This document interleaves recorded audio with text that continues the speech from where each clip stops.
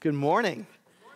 It's great to be with you all. If I have not met you yet, my name is John Fanous. I'm the lead pastor here at University Covenant. And again, just want to welcome you and say how grateful we are to be able to worship together and, and be together this morning. Uh, we are continuing our series called Relationships, a Mess Worth Making. Um, relationships, a Mess Worth Making. And, and just as a reminder, we started the series, we're in week three right now, but we started the series looking um, at the book of First Corinthians where uh, Paul is writing to the church. And despite all their biblical knowledge, despite all their their, the giftedness that God has given them, despite all that they were doing, he's looking at them and says that you are spirit, still spiritual babies. You're not quite mature yet. And the indicator, the thing he found is the reason I know this isn't because of how much you know or how passionate you are, but I know you're still growing in, in infants because of the lack of your, the quality of your relationships with one another. In other words, the relationships are broken. And so no matter how great you are and all these other things, if it's not manifesting itself, if it's not playing out in your relationships with one another, then it's not really playing out at all. And so we've been spending this, this season for six weeks talking about relationships, that, that they are a mess, but they're a mess worth making. And so the theme that we've been talking about is this we'll just keep repeating this that the indicator of your spiritual maturity with God is the quality of your relationships with one another. That's the mark, that's the indicator, that's the sign. Um, and especially with those who are a little more difficult. And I always say, if you don't know who that is, it might be you, so be humble. Um, but it's how what we learn about God, how what we learn in the Bible manifests and plays out in our relationships. It's a sign of our spiritual maturity. So this should just cause us all to have a humble posture towards God, uh, wanting to grow. And then last week we talked about facing that gap between reality and expectations and what to do about that. And, and today and next week, these next two weeks, we're going to focus on one topic, and it's the topic of forgiveness. And um, I just want to say, I wish I learned about this earlier, but we're going to have a, we're going to have a verse that we're going to uh, look at today and look at next week as well. I want us to say it out loud together. It's Ephesians 4:32. Let's say this out loud. Be kind and compassionate to one another, forgiving each other just as in Christ God forgave you. Let's say it one more time. Let's do it again. Be kind and compassionate to one another, forgiving each other, just as in Christ God forgave you. In other words, the verse is saying we are to be comp- compassionate and kind. We're actually to forgive each other. Why? Because Christ, in Christ, God has forgiven you and me. And what I mean by I wish I had learned this earlier, if, if someone, and, and perhaps someone did teach me, I just missed it. But if I had learned about forgiveness when I was younger, I would have saved myself so much grief, so much pain, and so much burden. If someone had just taught this to me, or at least reminded me and learned, helped me how to, how to forgive. On the other hand, if I had learned how to forgive earlier, I think I would have experienced for a good portion of my life so much more joy, so much more freedom, and so much more enjoyment of relationships. See, I don't know what your story is, and I think we just need to be reminded that, that when we give our lives to Jesus, when we accept his forgiveness and actually accept his leadership in our lives, that he is the king, he is the Lord, he's the one driving our lives, when we surrender that direction to him, something amazing happens in the spiritual realm, in the heavenly realm, and in our soul. And just to remind you, that if you have given your life to Christ, if you call yourself a Christian, we just need to remember that when that moment happened, God took everything you did wrong, all your sin, all your guilt, and he took what belonged to you and took it away from you, and God put it on Jesus Christ onto the cross, and Jesus died to take away all your sins so that you are clean. And not only did he take away your sin, the Bible says in Romans that he also gave you Jesus' perfect cleanliness and righteousness onto you. So it's not only that you are removed of your sin, but you have a new identity in Christ, and God sees you as pure and righteous and clean, so that you can go to God with no shame, with no embarrassment. With full confidence and courage, you can go to God and say, I am free before you, God, because you have done the work that eliminates any blockage, any barrier to my relationship to you. It's called forgiveness.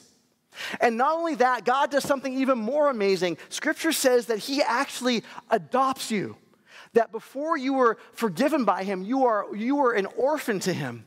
And he went out of his way and did all the work necessary to bring you into his family so that where before you were just created in his image, you were a creation of God, now you have a new title. You are a child of God.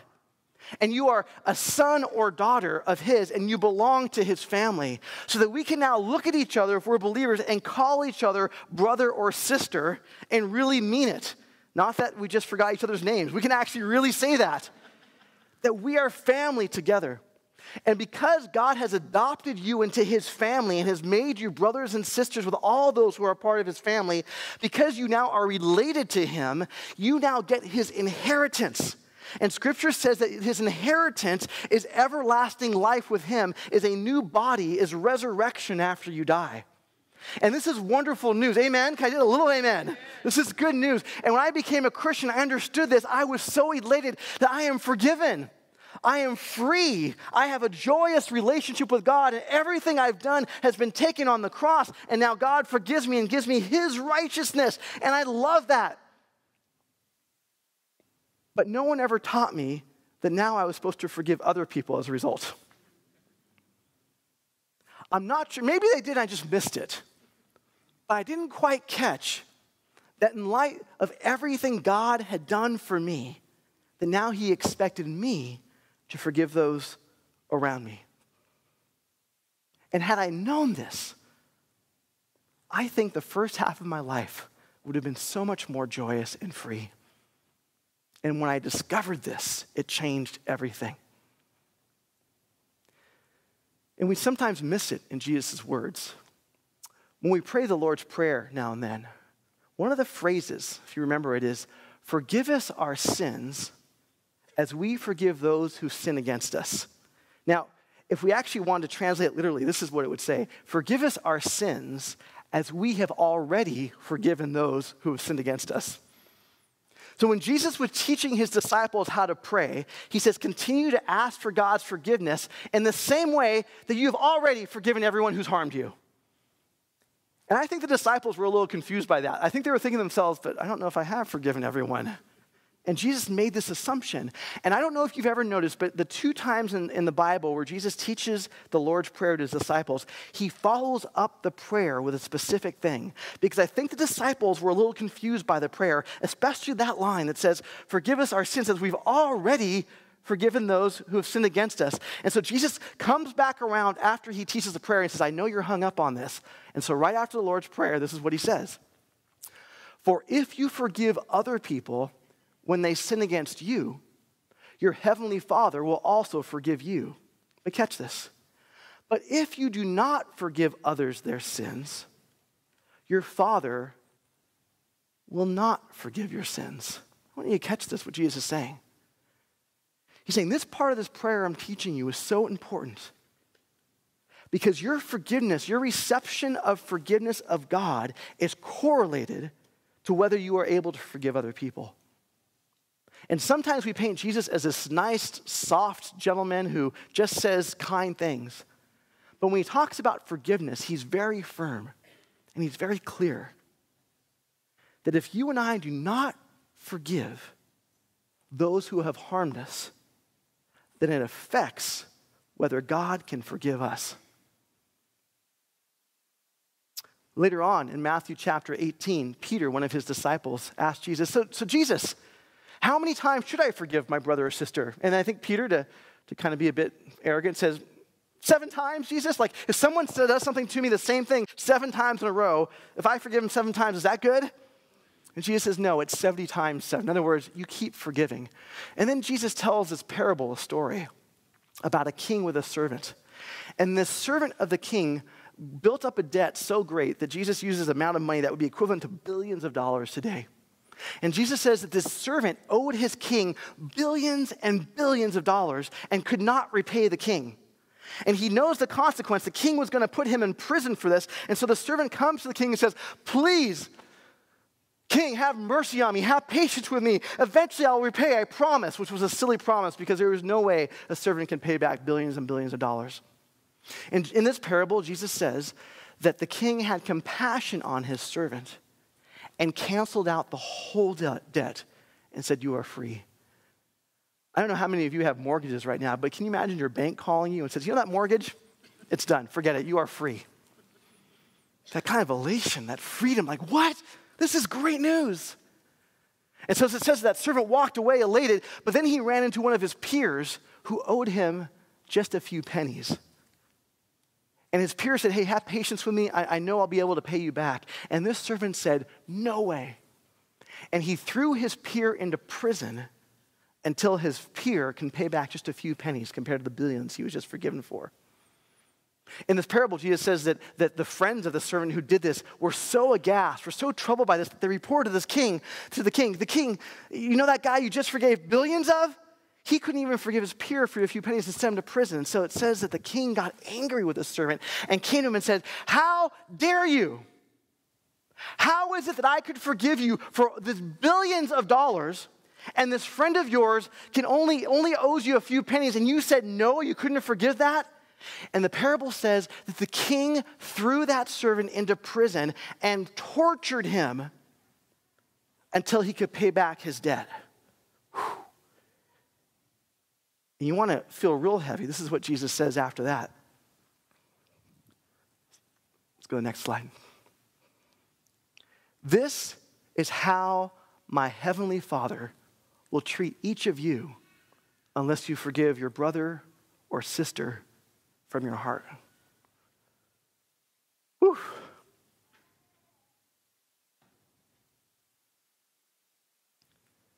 This is not a side issue for Jesus. This is so core to what it means to be a Christian.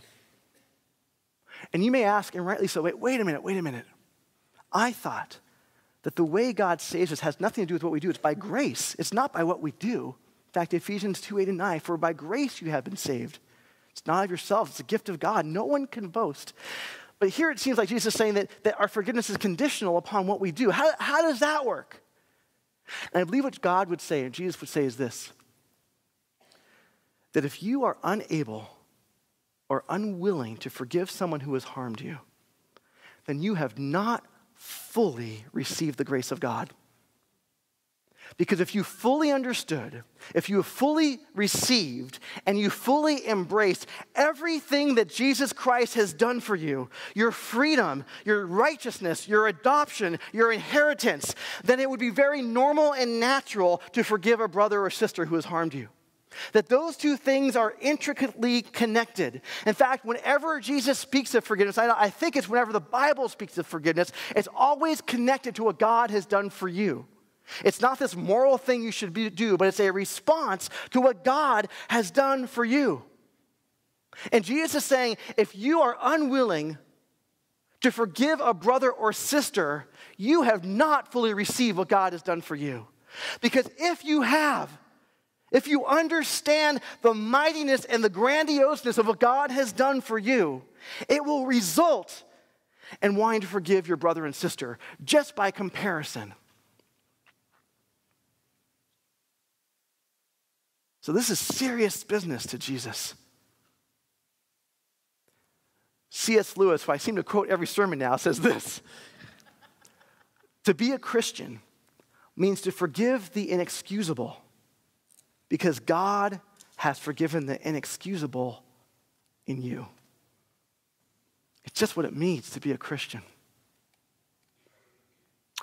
And as people began to talk to me about forgiving other people, uh, I learned so much more about forgiveness and the results of unforgiveness. There are, there are psychological and there are, there are spiritual things that go on when we hold on to resentment. For example, when you hold on to bitterness, when I hold on to bitterness, one of the things we do is we just stew on that person. We rehearse over and over and over again what they've done to us. Is it just me? You guys know what I'm talking about, right? Like we go to bed thinking about it, we wake up thinking about it, the whole day we're thinking about what this person did. Uh, uh, uh. And let me just ask, how much does that, is that person thinking of you at that moment? Hardly at all. And this is the most unfair thing. They did the wrong, but they're living scot free. But here I am stewing, it doesn't even affect you.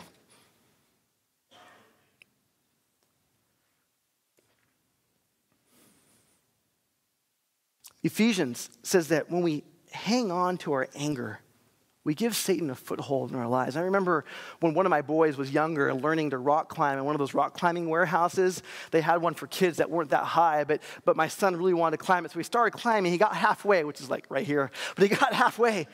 And, and he had one hand on one rock, another hand on the other rock, one foot on one rock, but he could not find a, a foothold, a, a rock for his right foot. And, and I won't scream because I'm wearing a mic, but he was literally screaming, Daddy! Daddy, help me! And so what I did is I took his foot and I put it on a rock. And all of a sudden he just calmed down. It's like safe, secure. The Bible says that when you hold on to your anger, Satan feels safe, secure, at home, because you've given him a foothold in your life. Someone said holding on to resentment is like drinking poison, hoping the other person will die.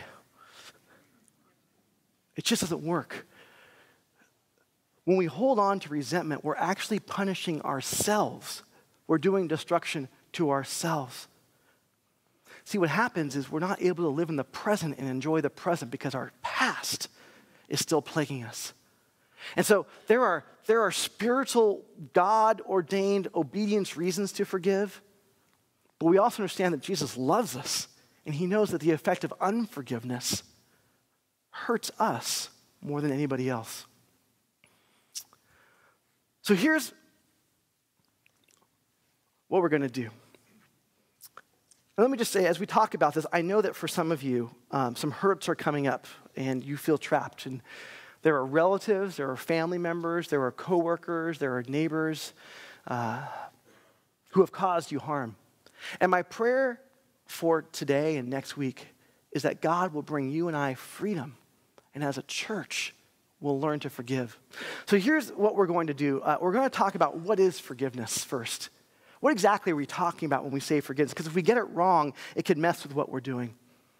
And then we're going to talk about how do you know you need to forgive? And this is going to sound cruel, but what, what I'm going to do is I'm going to help you identify today someone you need to forgive. And then next week, we're going to talk about how do we actually forgive? What's the process of forgiveness? So let's first talk about what is forgiveness, because this is so important. If we don't get this right, we'll, we'll, we'll uh, take some wrong turns, and if, and if, we don't understand it, we might, we might minimize what forgiveness actually is. So let's make sure we know what it is and what it isn't. So here's the definition of forgiveness. If you're taking notes, you might want to write this down. Forgiveness means letting go of deeply held negative feelings toward a person or a group who has harmed you, and replacing those feelings with compassion for the offender. Say it one more time. Forgiveness is letting go of deeply held negative feelings toward a person or a group. I throw out the word group because sometimes there's a group we feel resentful towards, and it often is connected to a person or persons in that group who have done us harm. So it's both person or a group who has harmed you and replacing those feelings with compassion for the offender. That's what forgiveness is. Now, we need to be clear what forgiveness is not. And this is really important. So I want to hear I want to make sure you hear this. One, forgiveness is not saying that the, what the person did to you is no big deal. The power of forgiveness is you're saying, no, what they did to me was a big deal. It was wrong. It was evil.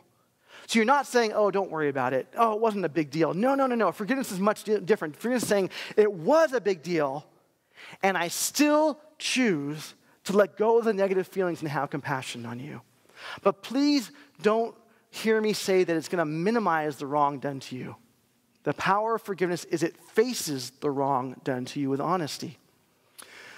That's why I think sometimes we need to be careful in our language. When you feel really hurt by someone and that person actually has an aha and says, hey, uh, I'm sorry, and they come to you and say, I'm sorry, sometimes our response is, oh, it was no big deal. When actually that was a lie. it was a big deal. I think a better response to those moments is, thank you for saying that, I forgive you. Because that's what forgiveness is. It's saying it was a big deal, but I choose to still forgive. So forgiveness is not condoning or approving or minimizing what was done to you. It's, it's being very honest and real about it. Here's the second thing that's really important about what forgiveness is not forgiveness is not the same thing as trust. Let me say it again. Forgiveness is not the same thing as trust. Trust takes two people, you and another person. And trust is built over time. Forgiveness is different. Forgiveness does not depend on whether the person ever realizes what they did was wrong or ever apologizes for what they did was wrong. Forgiveness just depends on you and God, regardless of the other person's behavior.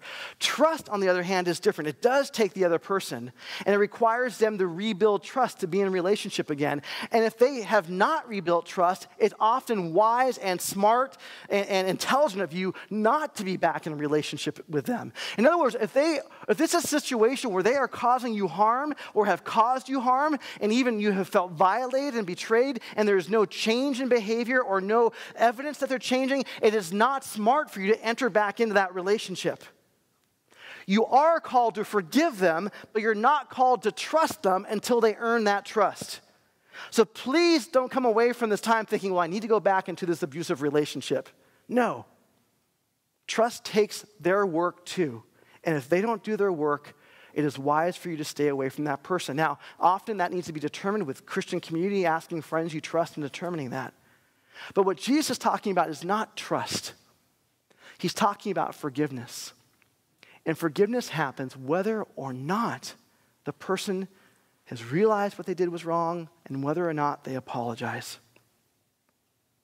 Forgiveness is letting go of deeply held negative feelings toward a person or a group and replacing them with compassion for the offender. All right, now we're going to have fun. How do you know you carry resentment? So I told you I'm not trying to be cool, cruel here, but because we really believe that God's word is meant not to just know, but to apply, to actually put into practice, what I want you to do right now, what I want to do is help you identify someone you need to forgive. Woohoo! This is exciting. Um, and again, this is not out of cruelty. This is more, I really want us to practice this together as a community. So here are some hints, here's some indicators you can look for to figure out is there someone I need to forgive? Uh, here, here's the first one pretend there's someone that you're having a hard time with, and another friend who's uh, now with you, the other person is not, another friend comes and begins to talk about this person. Do you secretly wish they'll begin to say something negative about that person? See, resentment loves company. Amen? Like when you're upset with someone, you want the whole world to be upset with them. So one of the signs is when you hear someone talking about that person, if you're thinking, oh, let it come, come on, negative, go negative with me, then that's a sign that God has someone for you to forgive. That's a sign that God has someone for you to forgive.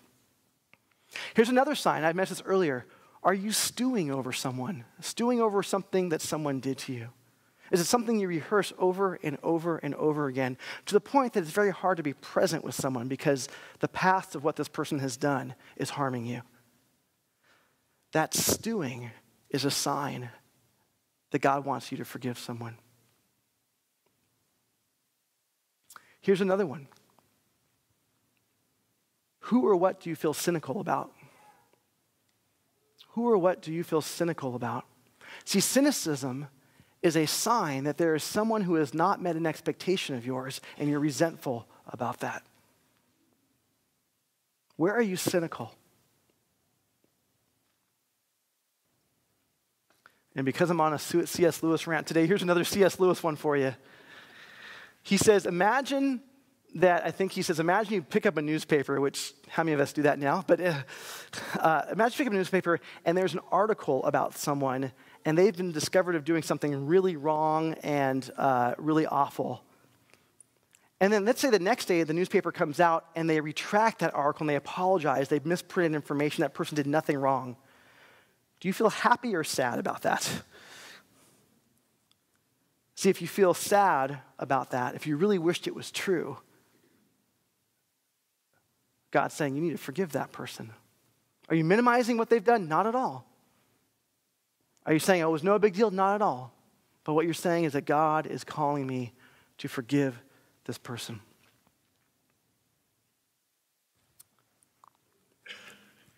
Do you have a person you need to forgive? Just nod at me. All right, cool. Now, why am I saying cool? That's awful as your pastor. That's not good.